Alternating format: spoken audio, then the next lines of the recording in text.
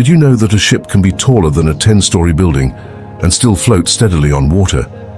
It's an engineering marvel that defies what most people think is possible. Welcome to the Maritime Safety Talk channel, where we explore the fascinating world of ships, these massive vessels that somehow stay afloat despite their enormous weight.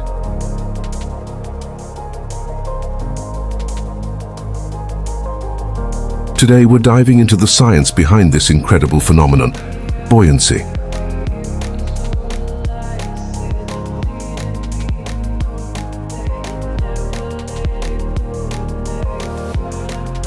Many people wonder, how do these heavy ships not just sink?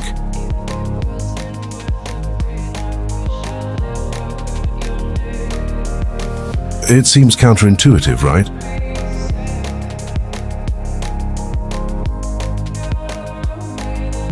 We'll explore why understanding buoyancy and stability is key to solving this puzzle.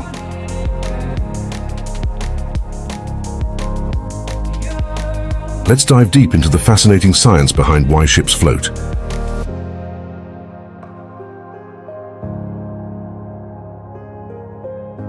It all starts with Archimedes' principle,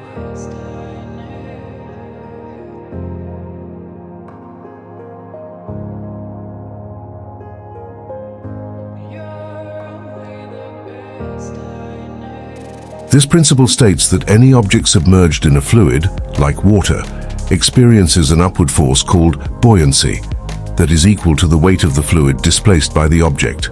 Simply put, a ship floats because the water it pushes aside weighs as much as the ship itself.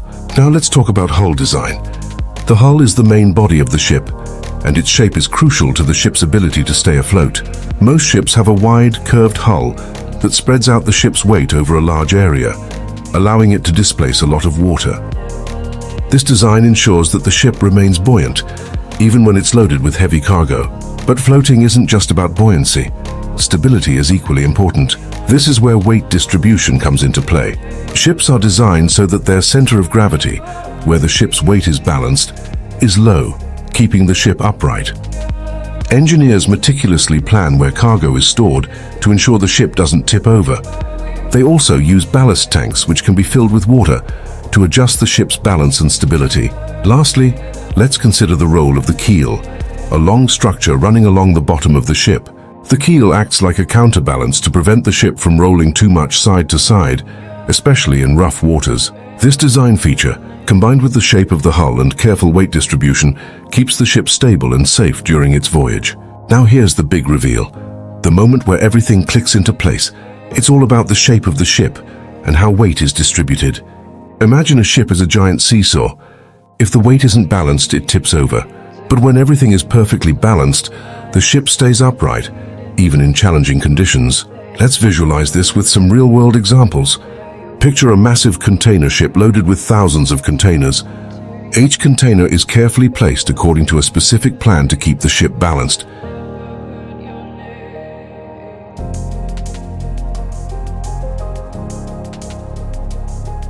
The shape of the hull, which is broader at the bottom, also plays a huge role in preventing the ship from capsizing. This broad base ensures that even if the ship tilts, it will naturally right itself rather than roll over completely.